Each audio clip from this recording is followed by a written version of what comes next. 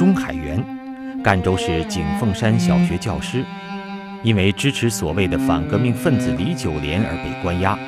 关押期间，因拒不认罪，而且在监狱的墙上写下“打倒华国锋”，也被定为反革命分子，判处死刑。一九七八年的四月三十号，钟海元被五花大绑批斗游街，之后押赴刑场执行枪决。执行的军人故意朝他的右背，而不是左边心脏处开枪，使他不会立刻死亡。早已等候在旁的医务人员一拥而上，把他抬进附近的一辆帆布军车，在临时搭起的手术台上，活着抛取了他的肾脏。这个肾脏很快被植入了在南昌九十二野战医院里等待肾移植的一位高干子弟的身体。三十多年来，中国改革开放，经济飞速增长，与此同时，是高额利润刺激下日益惊人的器官移植数量。特别是在一九九九年以来，中国的器官移植更是呈现爆炸式的增长。二零零六年，中共官方公布的年度器官移植数已达到近两万例，列居世界第二位。而且，享受器官移植的人群也从中共高官特权阶层扩展到所有能付得起高价的有钱人。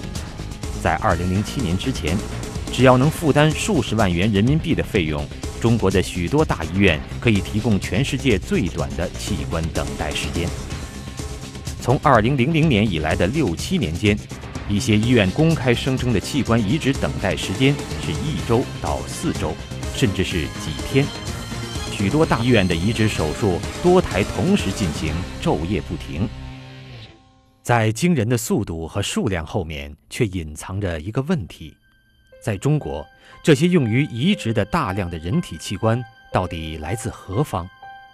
在二十一世纪的今天，像钟海元一样被活摘器官的惨剧，是否还在上演？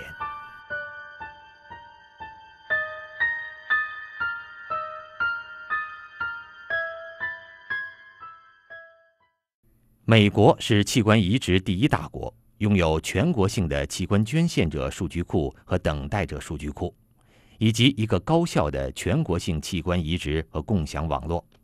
约八千万人的志愿人群同意死后捐献器官。与此同时，亲属间捐献器官的数量也很大。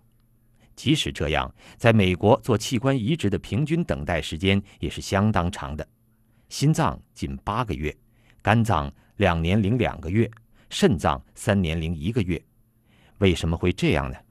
因为用于移植的器官必须来源于健康的人体，而且在移植中，器官的缺血时间必须非常短。肾脏要求少于十二至二十四小时，肝是十二小时，而心脏是四至六个小时。所以，如果不是亲属间的活体捐献，用于移植的器官只能来自于刚刚死亡的健康的志愿者。不仅如此，病人只能接受血型和组织型与自己相匹配的器官。在非亲属的人群中，这种匹配的机会只有百分之六点五。显而易见，等到一个合适的健康器官的概率是相当小的。在中国，由于文化上的原因以及缺乏相关的法律保障。中国人自愿捐献器官的人数少得可怜，到二零零七年九月为止，中国只有六十一例脑死亡者捐献器官，而亲属移植只占器官移植总数的百分之一点一。合法合理的器官资源如此匮乏，可是中国的大医院却似乎根本不用担心器官来源的问题。东方器官移植中心曾在他的网页上声称。得到匹配肝脏的平均等待时间是两周。第二军医大学上海长征医院器官移植科的肝移植申请表曾经明确地写着，肝移植病人的平均等候供肝时间为一周。成立于2003年、关闭于2007年9月的中国国际移植网络支援中心的网站，设立于辽宁省沈阳市中国医科大学第一附属医院移植研究所内。是一家面向外国人的器官中介机构。通过这家机构寻找匹配的肾脏捐献人，可能只需要一周，最长不过一个月。不仅如此，如果捐献人的器官有什么问题，那么在一周内，患者可以得到另一器官并重做手术。中国的《三联生活周刊》二零零六年四月七号报道，我国约百分之九十八的器官来源都控制在非卫生部系统。那么，这个非卫生部系统是什么意思呢？中国国际移植网络支援中心在被关闭前透露了更为惊人的信息，在网页的常见问答中，赫然有这样一组问答：问，即使移植手术成功，术后存活期也不过二至三年吗？答，的确，我们会经常听到这类提问，但这是指在日本开展的由脑死亡者提供的尸体肾移植，在中国开展的是活体肾移植。与各位在日本的医院及透析中心听说的尸体肾脏移植完全不同。问：接受肾脏移植是否会感染上其他的疾病，比如艾滋病、肝炎等？答：这种担心是完全不必要的。肾脏移植最重要的是组织配型问题。进行活体肾移植前，首先要检测供体肾脏的功能及供体者的白细胞，以确保移植用肾脏的安全性。为此，可以说，比起日本的尸体肾脏移植，这里更为安全可靠。这一组问答透露的信息是明确的：器官不是来源于尸体或者脑死亡者，而是来源于活着的人。而这家中心并不是中国唯一提供这种活体器官的单位。您好，上海交通大学附属第一人民医院电脑话务台，请直播分机号。人工服务请拨零。你好，你是肝移植中心，它的号码是多少？转接中，请稍后。喂，你好。喂，你好。哎，我现在有一个表妹呀，丙型肝炎十八年了，是慢性活动性，呃，丙型肝炎。哎，但是现在我跟你讲，你这个肝移植是可以的。嗯，那我就问啊，等要等多久？工体有啊，天天有哎。现在我们天天有做，不是你现在又不是说是有新鲜的、有活活的人的，你这个都是活都是活的，啊，都是活的。要保证这种大批量和快速的人体器官的供应，先决条件是一个由活人组成的器官供体库，而且这个人群必须是被严密控制的，因为对他们要求可以随时抽血检查身体，然后。根据移植病人到来的时间摘取他们的器官，以保持器官的新鲜和活性。那么，这个器官供体活人库到底是由一群什么样的人组成的呢？国际社会广泛认为，中共摘取死刑犯器官用于移植已经是一个不争的事实。不过，从数量上看，单单死刑犯这一种供体来源，无法解释中国器官移植在近十年来暴涨的现象。虽然中国死刑犯的数量是中国的国家机密，但是根据中国新闻网二零零七年九月六号在中国死刑数量明显下降一文中的报道，十几年来，人民法院一直坚持严格控制和慎重适用死刑，死刑数量持续保持下降的趋势。而与此同时，根据中共官方媒体的报道，二零零零年之后的六年间。中国器官移植的总量是2000年之前六年总量的三倍多。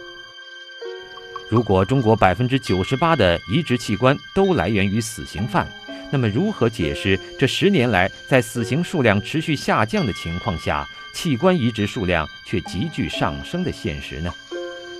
是因为移植技术进步的原因吗？让我们来看一看肾移植的情况。在中国，肾移植的技术早在九十年代初期就已经成熟了。在此之后的一九九八年，中国肾移植的数量是三千五百九十六例，二零零四年则超过一万例，三倍于一九九八年的数量。从一九九八年到二零零四年，成熟的肾移植技术已经没有多少提高的余地。很明显。技术进步不是中国肾移植数量暴增的原因。况且，死刑犯的判定需要经过审判、上诉等诸多法律环节，不能来一个器官移植的病人就可以判一个死刑，然后拉出去就杀了取器官。那么是什么样的人群可以如此方便、迅速地被摘取器官、被夺去生命呢？除了死刑犯之外，这个被迫游离于生死之间的巨大人群，到底是些什么人呢？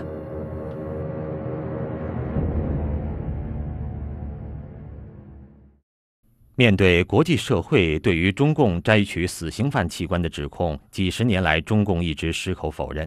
可是，在2005年，中共卫生部副部长黄杰夫在马尼拉世界卫生组织分部召开的会议上，首次公开声称，目前中国大多数移植器官来自于死刑犯。但是，2006年4月10号，中共卫生部新闻发言人毛群安在回答记者提问时，又否认摘取死刑犯器官之说。2006年11月，黄杰夫在广州的一个会议上再次表示，中国百分之九十以上的移植器官来自于死刑犯。此后的2007年1月11号，毛群安在接受英国 BBC 专访中。一改自己以前的说法，也称中国大多数移植器官来自于死刑犯。显然，对于是否公开承认死刑犯器官来源，在中共内部有一个从不一致到一致的过程。是什么迫使中共统一口径，高调承认自己几十年都不愿承认的丑闻？是良心发现，还是为了掩盖一个更大的罪恶？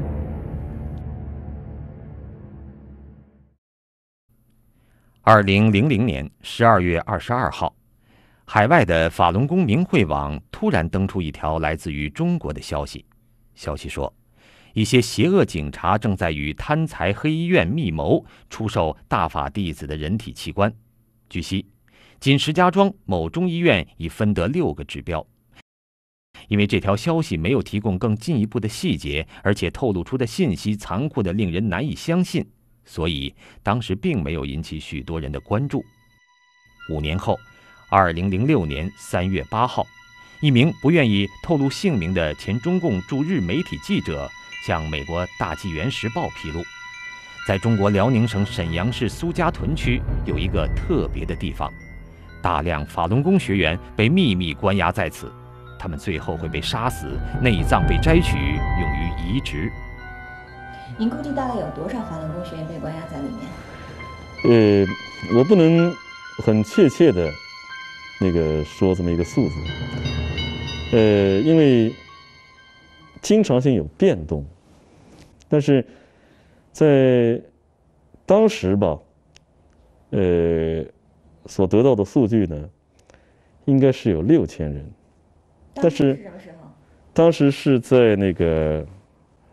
呃，两年前左右吧，也就是两千零四年，嗯，左右的那个时间里边，他们是在里面，可能是在被强迫转化、被打、被关押，在生命垂危的时候，然后器官被取出来、被移植、被卖，是可以这么理解吗？呃，对，我认为是这个这个情况，但是，呃，他们一定是在一种什么样的一种情况下，呃，是被迫的，呃，就是说，或者说是在毫无知觉的情况下。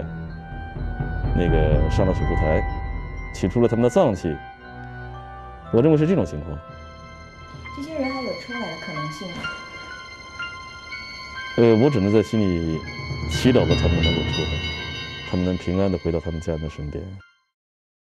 九天之后，一名曾在沈阳市苏家屯区的辽宁省血栓中西结合医院工作的女子，向大纪元提供了关于这个神秘关押地点的更多细节。她说。这个秘密关押地实际上就设于他所工作的医院内，具体地址是沈阳市苏家屯雪松路四十九号。在这家医院发生了大量活体摘取法轮功学员肾脏、肝脏和眼角膜等器官的害人罪恶。我的前夫曾经参与过摘除法轮功学员器官的手术，他是一名脑外科医生。参与摘除法轮功学员眼角膜手术，包括包括部分在法轮功学员活体上摘除眼角膜。我的家人告诉我说：“他说你不知道我有多么痛苦，因为这些法轮功学员是活的。若从死人身体上摘除器官，这还好说，可这些人都真的还是活的。这些事情都是秘密进行的。我们医院参与的医生很多是从其他医院调过来的实习医生。这些人的器官被摘除以后，有的人就直接被丢进焚尸炉中火化，没有留下任何痕迹。在苏家屯事件的第二位证人出来作证之后，人们在震惊、焦虑和各种猜测中又度过了十多天。奇怪的是，对国际舆论一向敏感的中共，这一次对如此惊人的指控居然保持三个星期的沉默。直到三月二十八号，中共外交部发言人秦刚在外交部例行记者会上就苏家屯事件进行否认，称之为蓄意捏造、恶意诋毁。他还邀请国际媒体亲自到苏家屯调查。也许是对外交部这个声明的一个回应。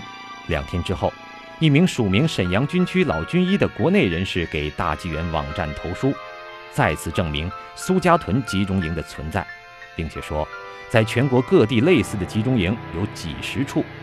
一个月后，老军医再次投书大纪元，公布更多活摘法轮功学员器官的细节。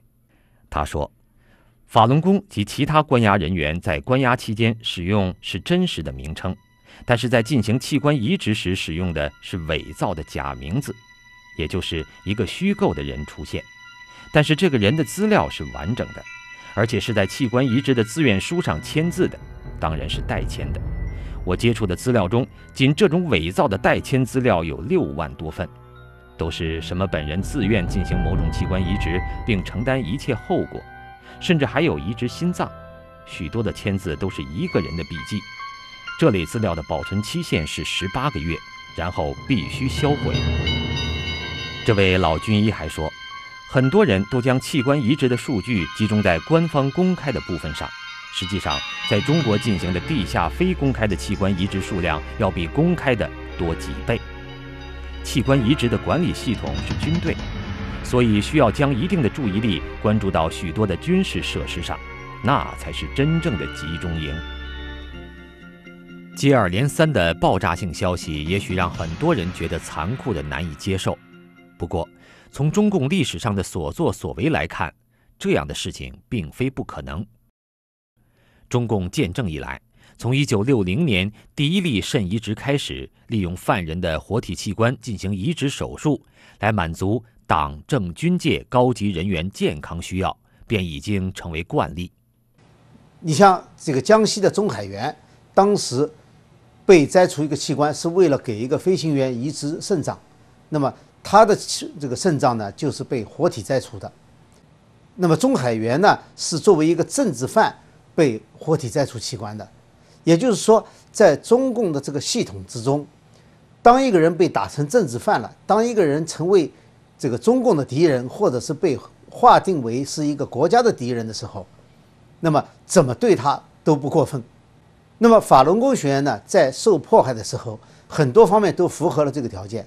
一个中共拼命的妖魔化，把他当作是一个最大的敌人来对待。所以呢，在社会上大家都知道，中共已经把法轮功作为敌人了。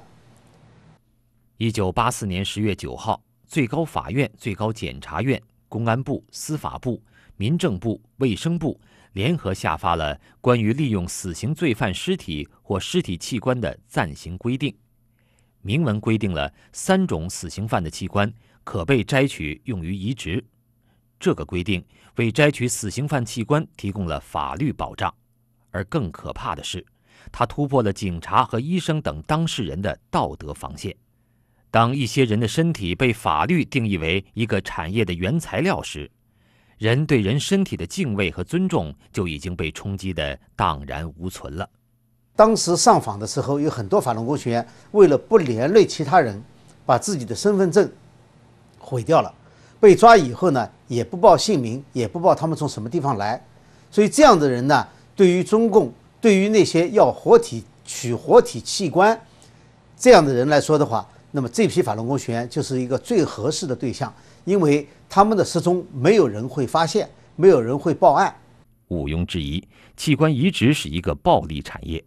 解放军第三零九医院器官移植中心的网页上声称，移植中心是我部重点效益科室。二零零四年一至六月份为一千三百五十七万元，今年有望突破三千万元。二零零七年七月十八号，《南方周末》上的一篇报道称，位于天津的东方器官移植中心获得巨额营收，仅肝移植一项，一年即可为中心带来至少一亿元的收入。二零零六年的九月，投资一点三亿，拥有五百张病床的东方器官移植中心新大楼启用。中国器官移植数量的暴增，是从一九九九年中共镇压法轮功后才开始的。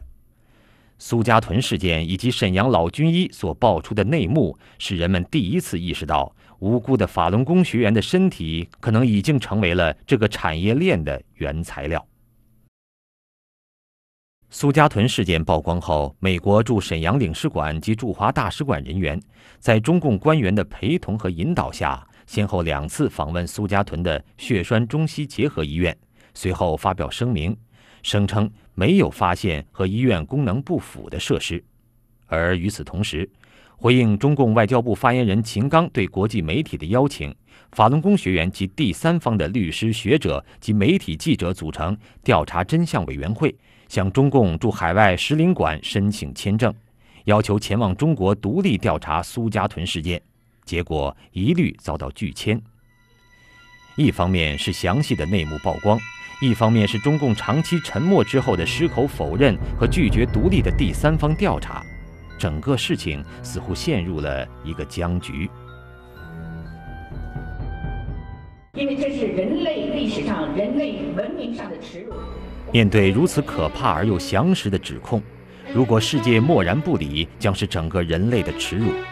虽然中共对独立调查设立重重障碍，但是一些富有正义感的人并没有知难而退。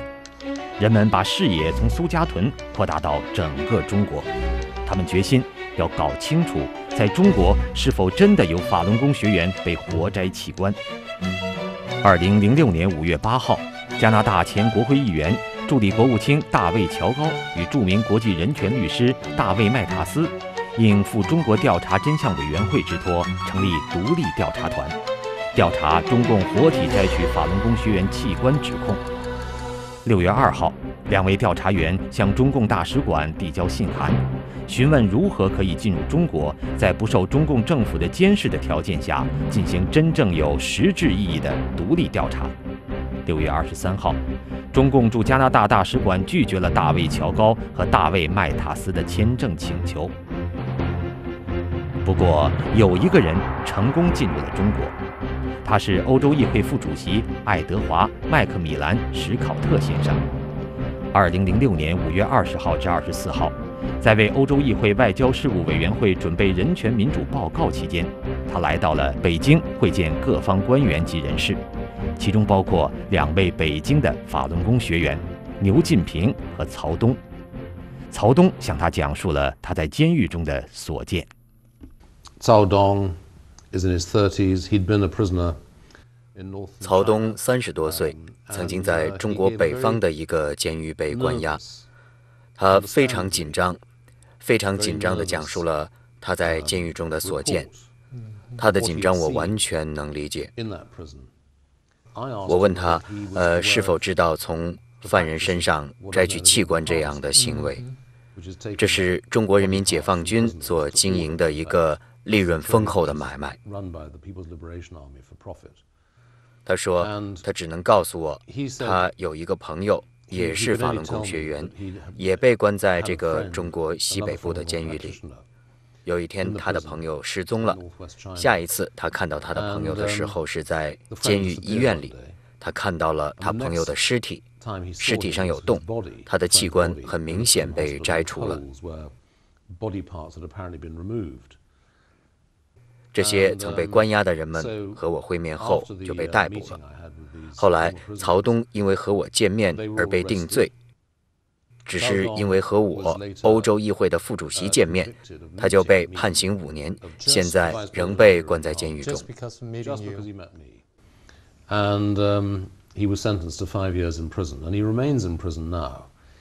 但是调查仍在继续，更多的人在加入调查，在他们中，有美国明尼苏达大学人权与医学项目副主任科克·阿里森博士。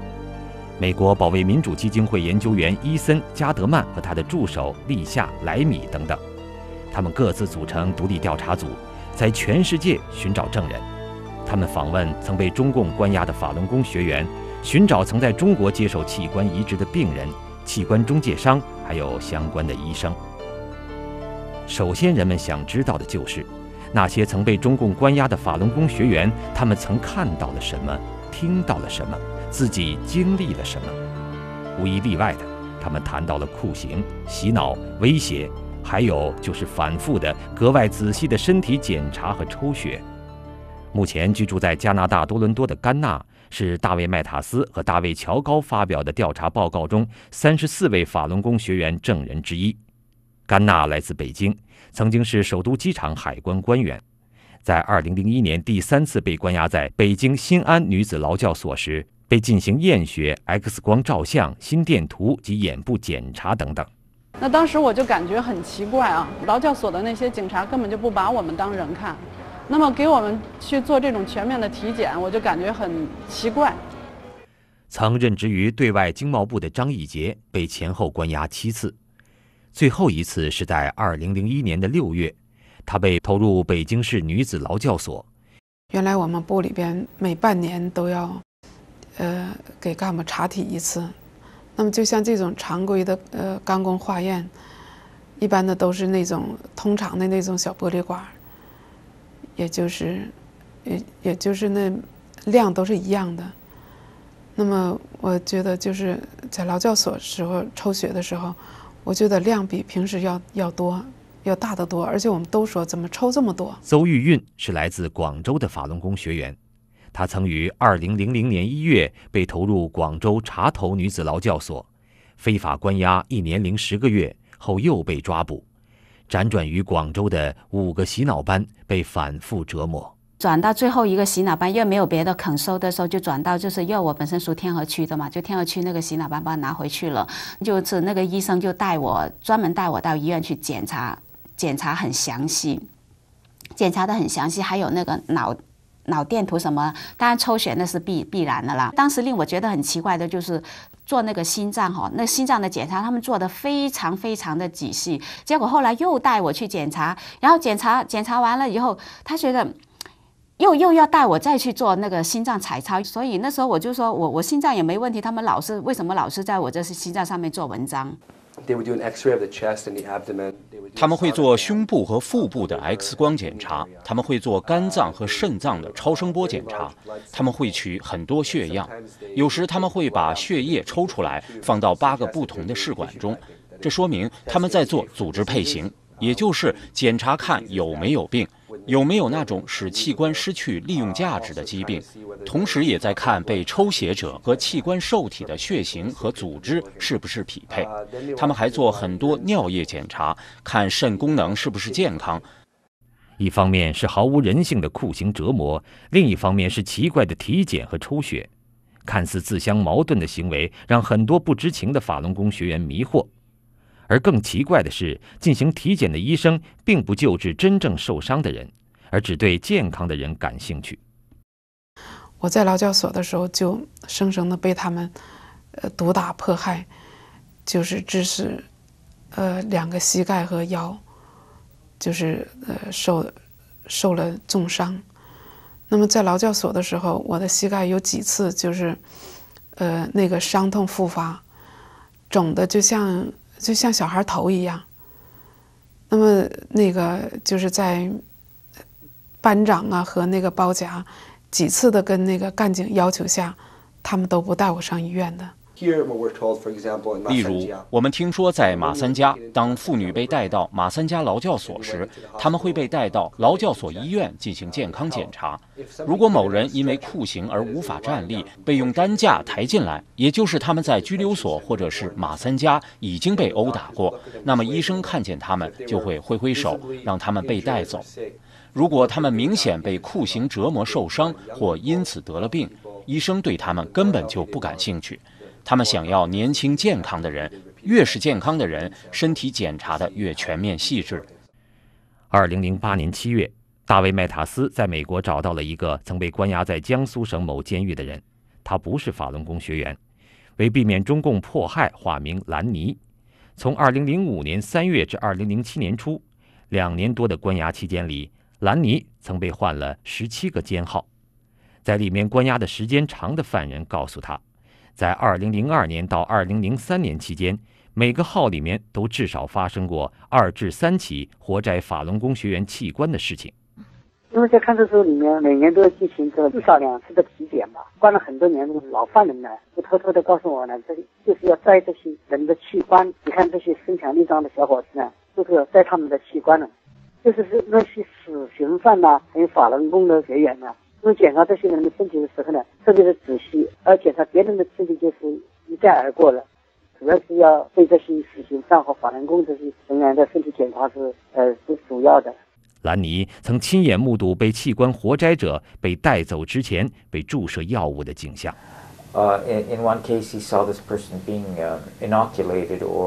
有一次，他看见一个人被人用注射器静脉注射了一种麻醉药物，是在脖子上，在脖子上，是的。哎，看见亲眼看见的，他人被那个绑起来嘛，五花大绑绑起来，躺在墙上嘛，两根臂的，这个用他打的麻醉剂打这么一个大针筒，很大的针筒来。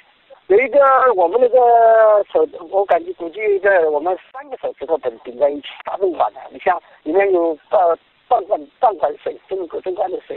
然后我们去的时候看到他是有半管针管，等到我们的急诊回来，这个针管水没了嘛，他这个人就倒在呃洗倚在那个墙上嘛，闭着眼睛嘛。呃，the 呃，there was 一个医院用的白色厢式车总是停在外面，因为这个这个车他开进来嘛，车车子开进大院子里面了。呃，你这提提什么？你就看得到，那个白的车子嘛，很大了，比那个他那个车子白车子比救护车大。牢头告诉兰尼，这个人其实是要被活摘器官的。外面的那个车是为了干这个用的，静脉注射也是为了这个目的。二零零六年十一月，兰尼被转到同一监狱的另一监室，这里还关押着一个姓陈的法轮功学员。我进去，他已经快要走了呀。跟我待没多久了，跟别人待的时间长。他不是规矩打，打了可能打得很重了，打腿也打断了，才坐坐不起来，腰也打打坏了。他看得很那个呼吸很困难的，打到最后就把他拖出去了，就没有了。这个人。老头说，对这个法轮功学员和对待死刑犯，基本是采用一样的程序。一个人来对其进行验血，将注射器插到其脖子里，穿白大褂的人来将其带走。一个医院的白色厢式车在外面等候。后来他们这种人肯定是就是被这个活摘器官的。华山法轮功其实很在那个一一监狱的讲的人很多的呀。就是和法轮法轮功打的，就是火灾了，就是很多的人都是，因为活摘机关跟那个枪毙人，在监狱里都知道是清清楚楚的，没什么这个隐瞒的事情，好像在外面你们都不知道就是。证人兰尼表示，警察这样毒打法轮功学员的目的，有时就是为了获得其器官。如果某个学员的血型和组织型和一个需要移植器官的病人相配，这个学员往往会成为被毒打的对象。他是看，就是说他看准了是这个人是那个病人所需要的人，他就打这个人。对他严格，他就对他特别严格，呃，动手打，同时那个迫使你那跟警察闹闹翻的，这种小闹翻，开始就打你，打你然后你打了你你不服气，你再再再闹再闹再打吧，打了几次的话你打伤。把你打到那个肋骨打断呐，腿打断呐。伊森·加德曼和他的助手利夏莱米访问到的一个证人的证词，也印证了兰尼的描述。例如，我们在曼谷采访的一个人，他的名字叫于新会，他在南方的广东四会监狱被关押了六年。他说。在犯人中，这已经是常识了。常常有人会被带走。每当有人需要器官的时候，这个人可能是某个官员，或者是某个有钱人。每当这时，监狱里就会有人被带走。这时，别的犯人或者是狱警会威胁他说：“如果你不老实，我们就杀了你，然后卖你的器官。”其实，我们在监狱都知道，只要你死。或者说你还没死或者怎么样，其实你都要把你的器官搞定。在武警虎视眈眈的监视之下，于兴会在监狱里曾经过三次身体检查，最后一次是在2005年的三月。监狱里的人都知道，确确实实存在着一份名单，每年都会有一次，名单上的人会被带走，再也不会回来。Once a year. 每年都有一次，一个大汽车会开来，它会在监狱的各处兜一圈，然后停在监舍的楼外。警察会手里拿着一个名单来到楼里，他们会进到不同的监舍，按照名单叫某个人的名字，并核实身份。好，你是这个人。好，拿上你的鞋和外套，跟我们走。他们甚至不许带任何其他个人物品。到下一个房间找到要的人，整个过程非常可怕。因为谁都不知道谁会被带走，为什么被带走，带到哪里去？他们只是把这些人搜集起来，放进大车里，有时有两辆、三辆或者四辆大汽车，在深更半夜里装满人，然后拉走。从此，这些人就再也没有音信了。于新会曾在 Google 的网上卫星地图上向调查员指出，深夜带走法轮功学员和犯人的汽车在监狱里的停靠地点。在两位调查员访问的证人中，有十五人曾像于新会一样被迫接受可疑的身体检查和抽血。我的意思是，如果你是个法轮功学员，你进了监狱，你基本上就处于被活摘器官的流水线上了。我的理解是这样。为了取得更直接的证据，海外的调查员以需要换器官的海外病人或其家属的身份打电话直接询问中国的移植医生有关供体的来源。有人问你没有进入到中国，你怎么知道的？事实上，我们通过一些非常聪明的会说国语的加拿大人和美国人进入到了中国。他们所做的是给医院打电话，假装要求得到法轮功的器官。哎，是宋主任吗？啊，您说吧。哎，我他那个医生跟他讲，就是说这个肾源挺好，就是练法轮功身体都比较好。我们会有，我们也会有。这个我们可能大概有，今年到目目前为止，可能这样的有十几个这样的肾脏。啊喂，哎，请问是广州军区武汉总医院？哎，那你们这边的话，有没有可能就是法轮功这样的肾源？有没有可能有几个？法轮该用就用呗，是不是？你管他法不法轮功啊，是不是？哎，你好，你是中山医院呃，对，是的，好，移植肝脏移植中心吗？嗯，对，是的。哎，我需要咨询一下我的。那等会儿啊，我再一下吧，好吧？啊啊。喂。喂，你好。哎，你好，你是医生吗？哎，你是哪里？哎，你贵姓啊？我怎么称呼你啊？我姓沈，你你姓沈啊？这个移植手术啊？那可以做的。那那最呃要等多久啊？来了以后一个礼拜左右就可以做了。呃，那但是这个提供的这个就是有健康有心血，那当然是好的了。给你提供的都是青少年，提供的这个法轮功的这种提供的这种。就是我们都是这这种。你能确认这些电话号码的可靠性吗？Yes. 是的，我有这些电话号码的记录和日期。相信我，我曾经是一名检察官，我知道会有怀疑，所以我尽了最大的努力，确保每件事都做得准确无误。我听过这些录音，当然他们是讲中文。我们请到有执照的翻译，他证实我们手中的资料是电话录音的准确翻译文稿，如实反映了对话的内容。另外。总部设于美国的追查迫害法轮功国际组织，用类似的方法证实了同样的结论。其中一例是2007年6月至7月间，该组织的一个调查员电话联系到了解放军307医院肾源中介经纪人，前后交往时间达数周，累计谈话时间达几十分钟。你就给我打听一下。以前呢，我跟你说过吧，以前就说我们这边跟你说实话是做过两例。哦，知道吗？找过这两例啊，两个法轮功法轮功学院的。对，找过这两例。监狱里面呢，就说，呃，像法轮功搞过，我也跟那个什么以前那个大姐说过，是搞过。对。搞过，就说现在呢，呃，就是说有点比以前来说有点难度，比较大一点。哎，你你原来搞是在哪个地方搞的吧？嗯，是在那个西城。西城，那你现在还有一个呢？你这个东西呢，你怎么确定他是法轮功学员？这一点你你了解过吗？那怎么确定法轮功学员？到时候到时候我们这边头上面有人给你会给你出现资料，知道吗？嗯，快他会会出资料给你，这你放心。哦，那好。在获得这份证词的同时，出人意料的是，以色列警方侦破的一个案子，给活摘法轮功学员器官的指控提供了更直接的证明。二零零七年七月三十一号，以色列警方逮捕了四名男子，他们涉嫌作为前往亚洲进行人体器官移植的中介人，从患者身上赚取了数百万元而没有申报。被逮捕的疑犯是麦迪特公司总裁亚伦·优杜丁和他的同伙。以色列最大的报纸《最新消息报》报道说，二零零六年的十一月十七号，优杜丁在不知道被录音的情况下，向未透露真实身份的该报周末杂志记者表示，他们公司帮助提供的器官来自于中国的政治犯、死刑犯和法轮功学员。这篇报道发表后，以色列当局开始对他进行了长时间的调查，并证实了报道的内容。针对国际社会的调查，中共的反应一如既往。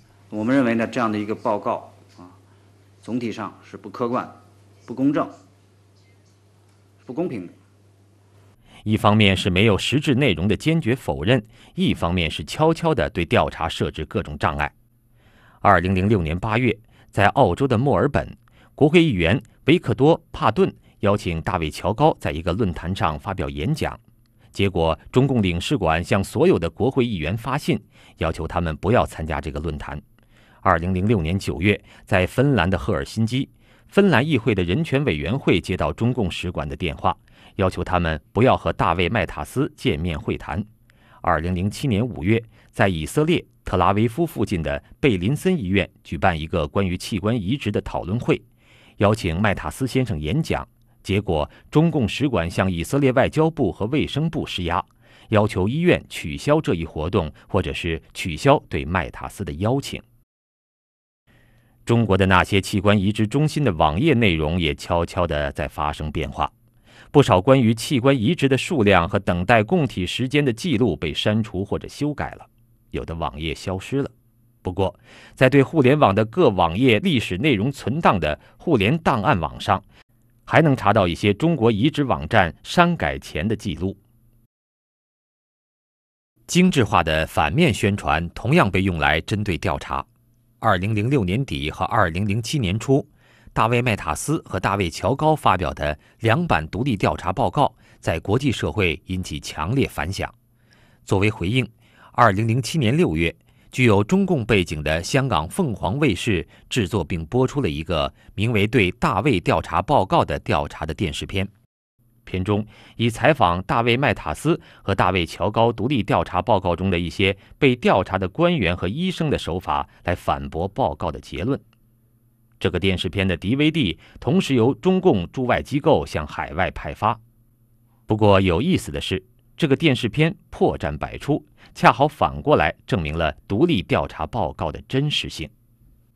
大卫·麦塔斯和大卫·乔高报告引用的数据之一，是中国医疗器官移植协会副主任委员石秉义在中国官方的《健康报》二零零六年三月二号“器官移植要设高门槛”一文中提到的数据。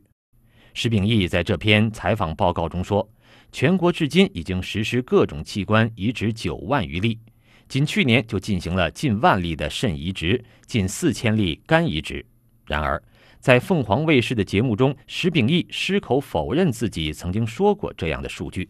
我没有说过这样的话，为什么？因为我头脑里就没有这样的数字，我没有过非常详细的调查哪一个时间点是多少例，我们没有这样的数字，所以我也不可能说。大卫报告中引用的石秉义的话的原文，在互联网上还有据可查。而且被其他中国国内媒体转载，而来自中国医学会器官移植学会其他专家给出的相似的器官移植统计数据，也在中国政府的媒体网站上比比皆是。这些数据与《健康报》二零零六年报道中引用的九万余例的数字互相呼应。大卫·麦塔斯和大卫·乔高报告中的另一类证据。是对中国大量医生的电话调查记录，在被调查的医生当中，很多承认自己使用法轮功学员的器官作为器官移植的供体。广西民族医院的卢国平医生就是被调查的医生之一。凤凰卫视节目采访了这个卢国平医生。卢医生在采访中承认接到了调查员的电话，承认被问到了录音中的问题，但是否认自己做过那样的回答。他问我那边是不是用的是法轮功的那那些呃器器官，但是我我告告诉他，我我说我并没有参与这个这方面的手术，不知道他们器官是怎么来的，这方面我没办法回回答他。那那你的你的这个同学有没有跟你说过，他们做的这些都是这种都是这种法轮功的，是不是啊？啊，这有些是法轮，有些是是家属捐捐献的。哦哦，那那现在就是说，我想找这种给我的孩子找这种法轮功的，你估计他能帮我找到吗？那肯定能够找到。能找到啊。他在这个报告里面说，你们以前用的。法轮功供体是从监狱里面还是从看守所里面拿的？他里面说我的回答是从监狱里面拿了，但是当时我的回答并不是这样。我的回答是我们医院没有这种资质，我本人也没有这种资质，所以不可能拿任何器官。说就说你们以前用的就说是呃是从哪里找？是看守所还是还是到这个监狱呢？啊，在监狱里面找的。哦，监狱里啊，他他那种就是都是那种健康的法轮功是吧？健康的法轮功。对对对，看肯定是学的好好的才能做完，因为这这这这种东东西做了要保证质量的。还有第二个问题是，他说那你们都要到监狱里面自己去挑选吗？当他当时说我的回答是对，肯定是说要要去挑选的。这个问题当时根本都没问到，没有那回事。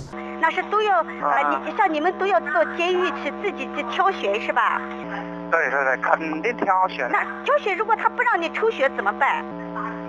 他肯定会让。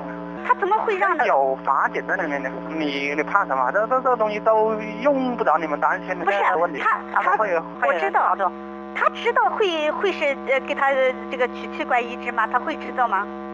不知道啊，他不知道啊，就是那就不让他知道是吧？知道他就不让抽了是吧？对对对对对。那那那怎么说服让他说他他说你抽血干什么？那你怎么讲呢？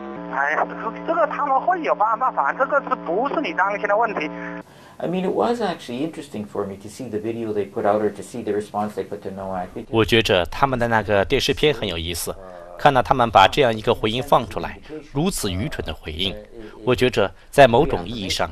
这这是对指控的一个确认。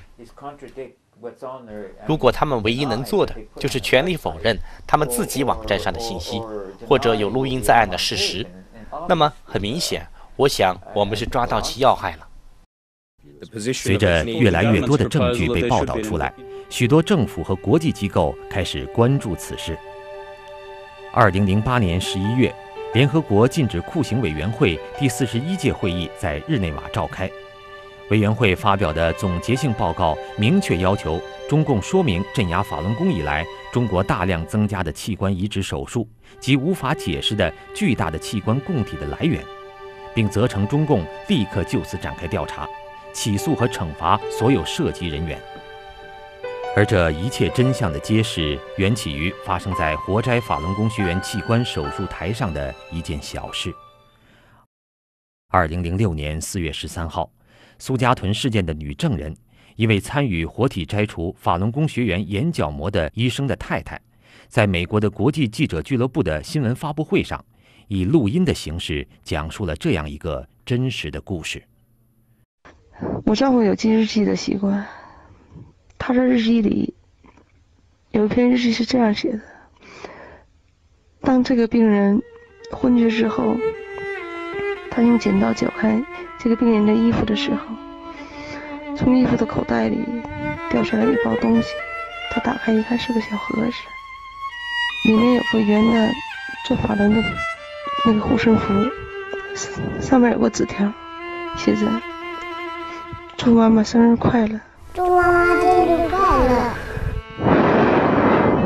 我丈夫受了很很深很深的刺激。这位在昏迷中被摘取器官的法轮功学员，永远也不会知道，发生在他弥留之际的这件小事，惊醒了这位医生做人的良知，从而揭开了一个惊天黑幕。但是，要彻底终结这个罪恶，需要更多人良知的惊醒。这个前所未有的罪恶，将许多无辜的生命置于生死之间。而面对这个罪恶，每一个人的选择，会将整个民族的良知置于生死之间。